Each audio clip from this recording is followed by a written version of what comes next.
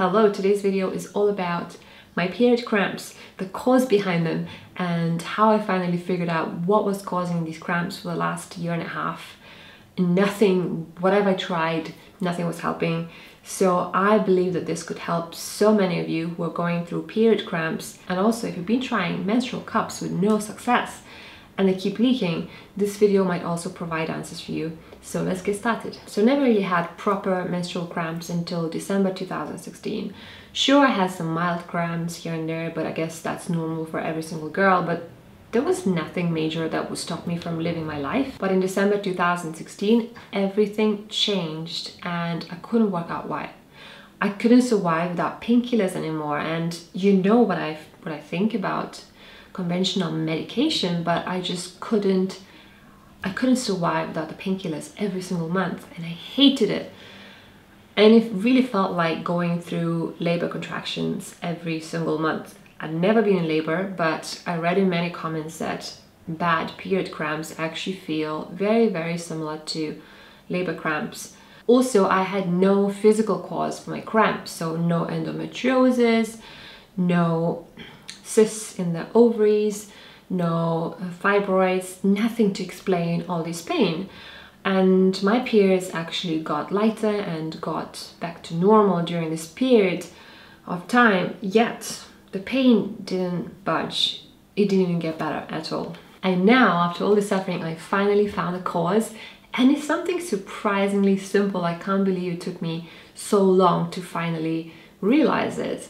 So basically around that time, I started using menstrual cup consistently, pretty much every single cycle.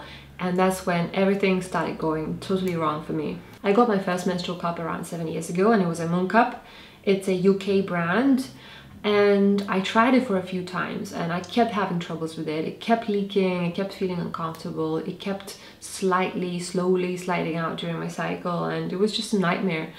So I never really used it consistently. I tried it a few times, it didn't work out, so I just abandoned it.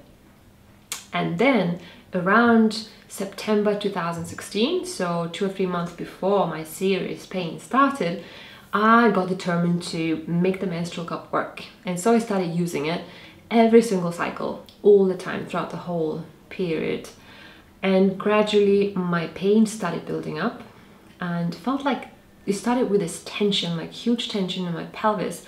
And then it would morph into a huge throbbing pain within a couple of days. And then it would stay for two or three days afterwards. And it was really uncomfortable. I was basically stuck in my bed, taking painkillers and really struggling to survive during those two or three days every single month and it wasn't fun. Also during this whole time of my trials, I kept having the same issues. The cup kept leaking during my heaviest days and the cup wasn't even overfilling, it wasn't even full, it was maybe 20-30% full, yet it was leaking. No matter what I did, no matter how many videos I watched, no, many, no matter how many forum entries I read about all the tips, nothing was working. And then around December 2016, the month when my serious troubles with pain started, I decided to buy a Diva cup, thinking that maybe a different brand would make a whole difference for me and it would stop leaking and would become comfortable. But I actually made a really bad choice because the Diva cup is actually the longest menstrual cup on the market. It's even bigger than the Moon cup, so of course it made all the troubles even worse it was leaking in the same way, but I also started having more and more uh, pain and pressure. So the cup continued feeling worse and worse until a few months ago I finally got the intuition telling me that I should just stop using the cup for a few months. I wasn't totally sure that the cup was behind my pain and everything, but I just felt this urge to to try to live without it for a couple of months probably because it just felt too uncomfortable. You know it was so painful to put it in to take it out. Everything felt raw and irritated and inflamed and sore and I just didn't want to use it anymore. So I ditched it for a couple of months and the first cycle afterwards was so much easier. There was much less pain much less bleeding and then the second one after that was even better because for the first time since December 2016, so basically almost after a year and a half, for the first time I didn't need any painkillers at all throughout the whole period and the pain was still there but it was bearable, I could function, I didn't have to stay in bed the whole time and for me it was life-changing. I realized that finally I found the cause for all this pain. Because the truth is, no matter what I tried, I tried all kinds of natural remedies for for period pains, including um, all kinds of herbs and magnesium and nothing changed anything at all for me. And then the cycle afterwards, I decided to go back to using my menstrual cup and guess what? The pain came back with a vengeance and everything was exactly the same as before. So it's clear now that the menstrual cup was really behind everything and the reason why is because I have a low cervix. The cervix that naturally sits quite low but during my period it migrates even lower to around four to five centimeters from the entrance. So most cups are made to fit people with at least seven to eight centimeters because there should be at least two centimeters between the top of the cup and the cervix. Because I only had between four and five centimeters, obviously what happened with me was that the cup, the rim of the cup was actually pressing on my cervix, rubbing on it, inflaming it, uh, causing loads of damage and basically the cervix was getting really swollen really big and because of that it was moving even lower and causing even more pain even more symptoms even more uncomfortable feelings and tension down there. There are actually a couple of brands on the market that make menstrual cups especially for women with low cervix. So for example there is a femi cup i believe it's called.